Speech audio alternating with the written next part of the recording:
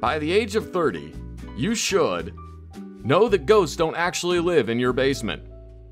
Have become extremely good at running up the stairs once you shut the lights off, so that the ghost in your basement doesn't get you.